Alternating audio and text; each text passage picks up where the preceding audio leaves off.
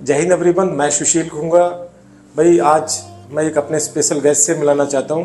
और स्पेशल इसलिए है क्योंकि ये जब हमने अपनी एकेडमी स्टार्ट की थी 2009 में उस पहले बैच का बच्चा है और इसको करीबन 14 साल हो गए इस एकेडमी से सेलेक्ट होकर आर्मी में सर्व करते हुए।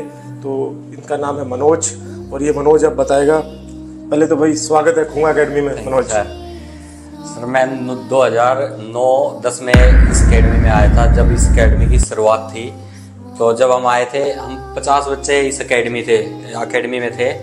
तो फ़र्स्ट बैच में हमारे 45 बच्चे सिलेक्ट हुए थे इस अकेडमी से। तो काफ़ी अच्छा अच्छा लगा। तो उसके बाद हमेशा इस अकेडमी ने ग्रोथ ही की है। उसके बाद ये अकेडमी द्वारका में चली गई थी। द्वारका में उसके बाद भी काफ़ी बच्चे हमने भेजे। मैंने अपने छोटे भाई को यहीं पे एकेडमी में कोचिंग कराई। वो अच्छा, भी वो छोटे वाले छोटे कलरक से हुआ था। वो हाँ। तो वो भी इधर से भर्ती हुआ। उसके बाद मैंने अपने साले को यहाँ पे भेजा। वो भी इधर से टेक्निकल ग्रुप में हुआ था सर। अच्छा। तो उसके बाद जितने भी मैंने अपने रिलेटिव भेजे हैं मतलब यार दोस्त के बच्चे जो भी आए यहाँ पे तो मतलब सारी सिलेक्ट होके गए और वो हमें मिलते भी हैं। भाई एक चीज़ है देखो ये पहले बैच के थे तो हमेशा याद रहते हैं। तो ये था इसके ग्रुप में जो भी बच्चे थे बड़े अच्छे बच्चे तो बहुत मेहनत करते थे। और मेहनत के साथ साथ हम उस टाइम बड़ा क्रिकेट भी बहुत खेल क्रिकेट बहुत खेलते बहुत खेलते क्योंकि ये भी बड़े शौक होता था इनको क्रिकेट खेलने का हमें भी। आजकल खेलता नहीं खेलता क्रिकेट सर खेलता हूँ अभी तो। खेलता है। चलो गुड और आज भैया अपने बच्चों के साथ आ रखा था तो अभी से आपने सर सैनिक स्कूल भी शुरू किया है तो ये भी काफ़ी अच्छा लगा। मैं तो हैरान रह गया देख के इतना बड़ा स्कूल और आप तो हमारे क्षेत्र में आए हो हमारे गाँव के आसपास।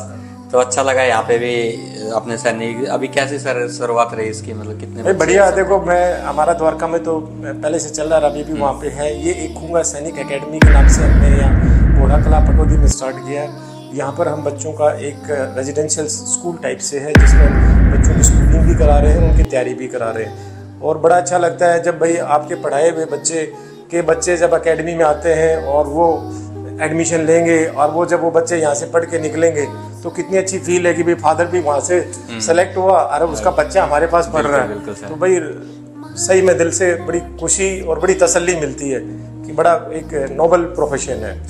सर हम तो यही दुआ करेंगे आप आगे हमेशा आगे प्रोग्रेस करो नहीं, नहीं, और अच्छी बात हमारे बच्चे अभी तो छोटे हैं हम भी चाहते हैं यहीं से पढ़े। ठीक है सर थैंक यू सर चलो भाई जय हिंद जय भारत।